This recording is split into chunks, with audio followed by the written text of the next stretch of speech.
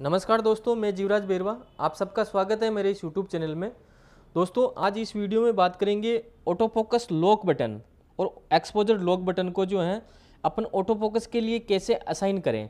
जैसे कि आप चाहते हो कि मेरा जो स्टर रिलीज़ बटन है इससे केवल जो है स्टर ही रिलीज़ हो मतलब केवल फ़ोटो खींचने का काम ही करें और मेरा जो ऑटो फोकस जो कैमरा करें, वो इस बटन से करें। तो इससे, इसको अपन कैसे असाइन करें ऑटो फोकस के लिए। जैसे मैं अभी अगर दबाता हूँ, अगर मैं रिलीज़ बटन को अगर मैं अगर हाफ़ प्रेस करता हूँ, जैसा कि देख पा रहे हो, ये ऑटो फोकस भी यहीं से हो रहा है और मेरा जो है फ़ोटो भी यहीं से खींचेगी। मतलब जो स्टर जो है रिलीज़ भी यहीं से होगा।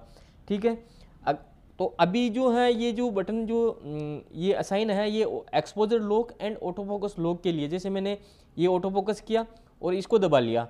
तो मेरा जो ऑटो यहाँ का जो फोकस है और यहाँ का जो एक्सपोजर है वो लॉक हो चुका। है अब मैं चाहे कैमरे को अगर इसकी डायरेक्शन भी चेंज कर लूँ तो मेरा जो एक्सपोजर और यहाँ का जो ऑटो फोकस है वो लॉक रहेगा। अगर मैं वापस अगर कैमरे को यहीं पे लेके, अगर मैं फ़ोटो खींचता हूँ तो यहाँ का जो फोकस और एक्सपोजर जो है, मेरा जो है, जो लॉक हुआ है, वही वही आएगा। तो अभी जो है ये बटन उसके लिए असाइन है। तो मैं इसके लिए जो है, केवल इसको ऑटो फोकस के लिए अगर मेरे को असाइन करना है तो उसके लिए जो है आप कैमरा मेन्यू का बटन प्रेस करोगे सबसे पहले।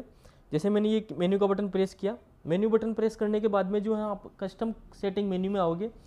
कस्टम सेटिंग मेन्यू में आप कंट्रोल्स में ओके करोगे। कंट्रोल्स में आने के बाद में कस्टम कंट्रोल शूटिंग इसमें ओके करोगे। इसमें ओके करने के बाद में आप देख पा रहे हो ए ई एल और ए एफ़ एल बटन अभी auto focus lock only auto focus lock के लिए साइन हो रखा है। तो इसमें आऊँगा, मैं इसमें केवल ऑटो फोकस ऑन कर लूँगा।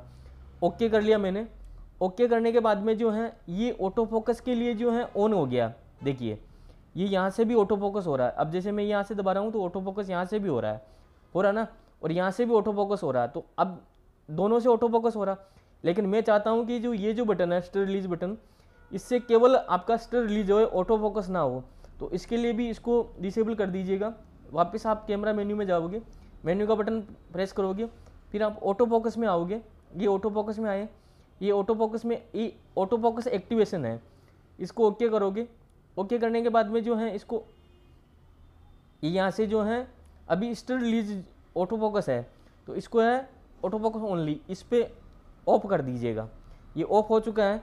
अब मैं अगर इसको दबाता हूँ तो यहाँ से देखिए, यहाँ से कुछ भी नहीं हो रहा है। ठीक है? अगर मैं यहाँ से दबाता हूँ, ये फोकस मेरा यहीं से हो रहा है। तो मैं यहाँ से फोकस करूँगा और इससे केवल स्टिल रिलीज़ करूँगा। ठीक है? जैसा कि मैं हाफ़ प्रेस कर रहा हूँ तो ये फोकस नहीं कर रहा। तो अब जो मेरा फोकस होगा, सिर्फ़ इस बटन से फोकस होगा। तो इस तरह से जो है, आप इसको फोकस के लिए भी असाइन कर सकते हो। ये अधिकतर वाइल्ड लाइफ फोटोग्राफर जो हैं, उनके लिए ज़्यादा मतलब ये असाइन करके रखते हैं।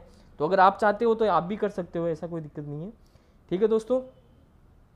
आई होप ये वीडियो आपको बहुत पसंद आया होगा। अगर वीडियो पसंद आए तो वीडियो को लाइक कीजिए शेयर कीजिए कमेंट कीजिए। अगर मेरे चैनल पर नए हों तो चैनल को सब्सक्राइब कीजिए। थैंक यू धन्यवाद।